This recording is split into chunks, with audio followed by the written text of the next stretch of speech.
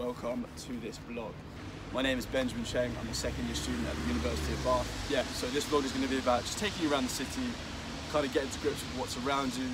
You'll notice from the vlog that it is kind of a very small city, I can get to places very, very quickly. Spa train station is behind me.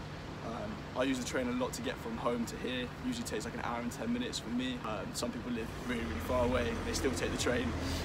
There's also loads of buses around here. The Uni bus, the Uni bus actually is really good. It runs every like six minutes, depending on where you are.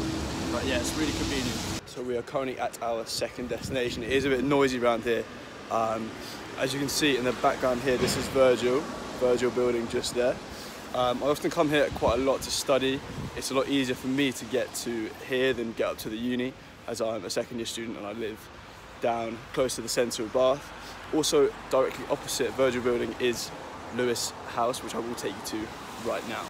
Yo, so currently Virgil Building is just to my right, and then behind me is Lewis House. Yeah, as I said before, these places are great for studying. There's loads of uh, private rooms and also sort of big study spaces that you can go and study in. They're really good for exam period times. It's just so much more convenient to come down here if you're a second or third year student. It roughly took me around two to three minutes to get from uh, Bath Spa train station. So we're currently at the Royal Bath Spas.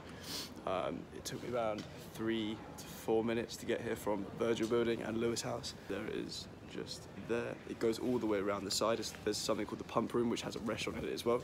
I'm pretty sure students get a discount to go into um, Bath Spas.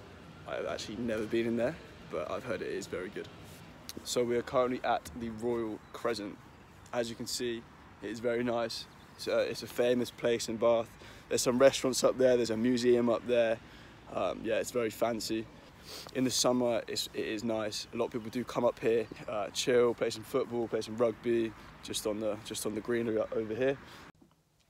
Yo, so this is the end of the vlog. Thank you for joining me on this tour. I hope you enjoyed it, and I will catch you next time.